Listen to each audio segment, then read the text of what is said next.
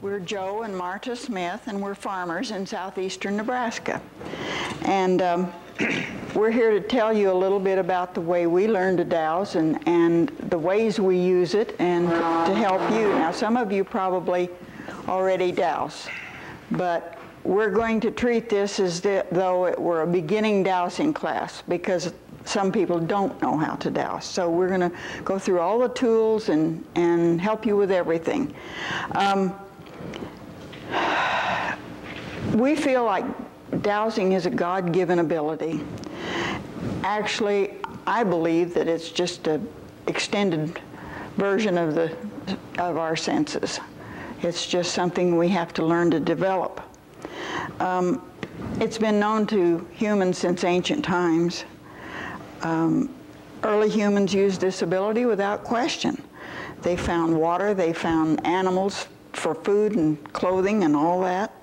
And um, I have a little bit of history here that I looked up and I was amazed at some of the facts.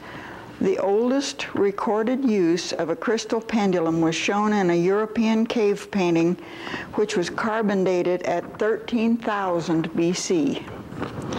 A wall painting depicting a person using a forked stick was found in a cave in northwest Africa, which was dated at 8000 BC.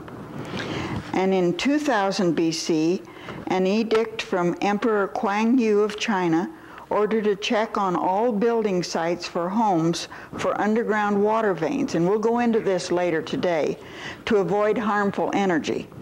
We are now using some of these same methods to avoid them.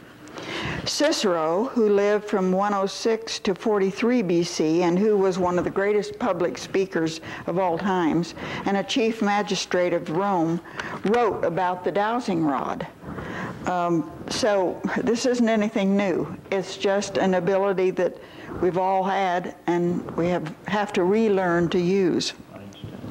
Uh, Einstein was a firm believer in dowsing and a lot of of uh, very um, famous men who were scientific still believed in dowsing. In recent times, more and more people have become interested in dowsing and have begun to realize that the uses for dowsing are just unlimited. Um, in 1976, the Smithsonian Institution had a traveling exhibit on parapsychology and it also included names of outstanding science who, scientists who support dowsing, including Einstein.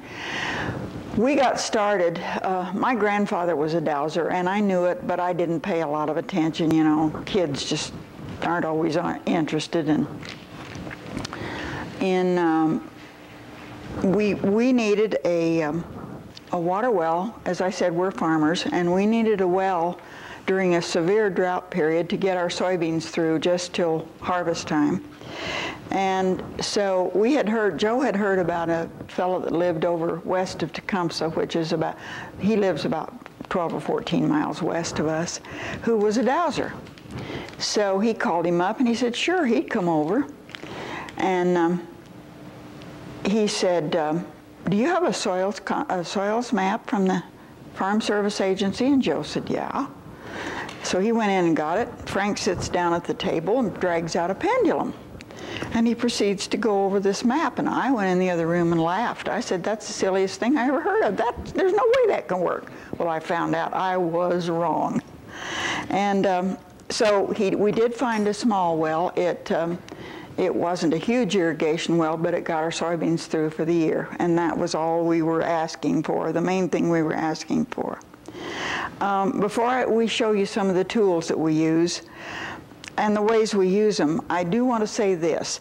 First of all, we always dowse for the highest good for everyone concerned. That's the persons we're working for or and ourselves. Um, we never dowse for evil or selfish gain. Greed can get in your way in a big way, and you won't get accurate answers.